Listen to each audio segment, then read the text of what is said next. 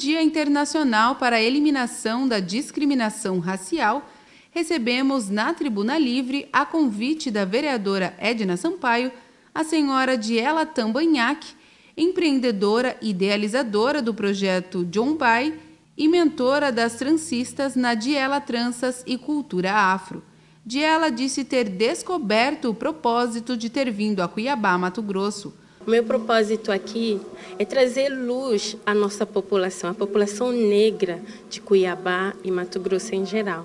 Eu cheguei aqui vendo a nossa população muitas das vezes triste, não se sentia. Muito dos meus amigos que eu tinha, maioria, ah, isso não é para gente. Por exemplo, conquistar um direito ou almejar um crescimento, principalmente econômico, parecia uma coisa que não era propício à nossa população. Parece que para eles nós éramos destinados a ser pobres.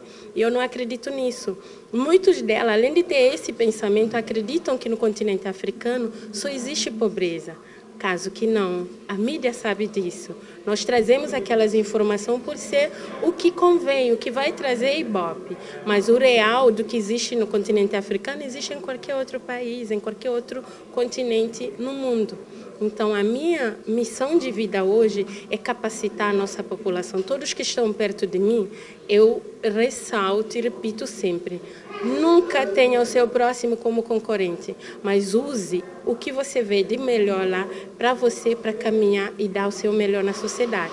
A parlamentar Edna Sampaio falou sobre a luta e destacou ainda a importância de trazer a Diela até a tribuna neste dia importante de luta a importância é muito grande, porque hoje, em especial, é o Dia Internacional de, do Combate à Discriminação Racial, um dia instituído pela ONU em razão do massacre que aconteceu é, da população negra em Joanesburgo, na década de 60, que reivindicava o direito ao passe livre, os ônibus, a, a viagem, o transcurso dessas pessoas pretas numa, numa cidade, num país né, de maioria absoluta de negros, era controlada pelo Estado as pessoas negras só poderiam transitar nos ônibus se, se, se o Estado soubesse onde, de onde elas saíam e para onde elas iam. Então, esse protesto em Joanesburgo fez com que a polícia, comandada por governantes brancos, fizesse um massacre que deixou como resultado 69 pessoas mortas, que lutavam contra o apartheid, que era expresso em todas as políticas públicas, em todas as ações do povo preto, sempre controlado. No Brasil, nós nunca tivemos uma política oficial de apartheid, ou seja, seja, no imaginário das pessoas, as pessoas pretas e pessoas brancas estão no mesmo patamar e frequentam os mesmos lugares.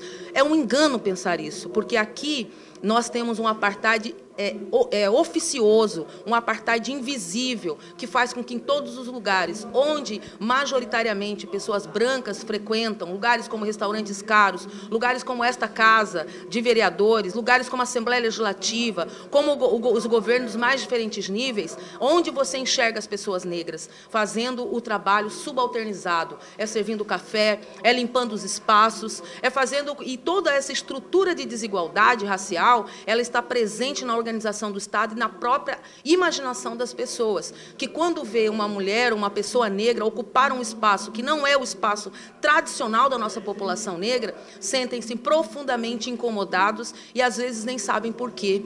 Também esteve na tribuna, mas desta vez a convite do vereador Luiz Cláudio, Edivan de Pinto de França, conselheiro municipal de promoção da igualdade racial, e do Grucom, que falou sobre esse dia de luta proclamado no ano de 1966 pela ONU.